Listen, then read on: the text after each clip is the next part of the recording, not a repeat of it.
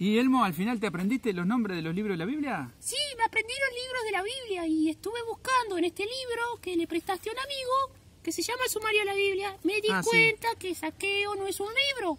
Claro, yo te había dicho que Saqueo no era un libro. Pero entonces, ¿Saqueo qué? Porque yo sé que lo vi por algún lado. Claro, lo que pasa es que Saqueo es el nombre de, de una persona que la historia aparece en la Biblia.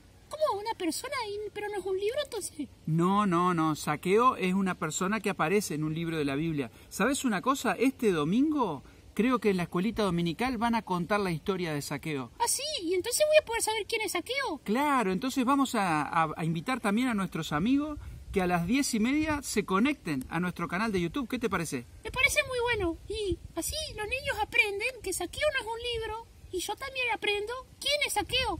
Claro, y te voy a decir una cosa. Hay una canción de Saqueo que también la vamos a aprender ese día. ¿Nos vemos ahí? Dale, nos vemos ahí. Bueno, chao.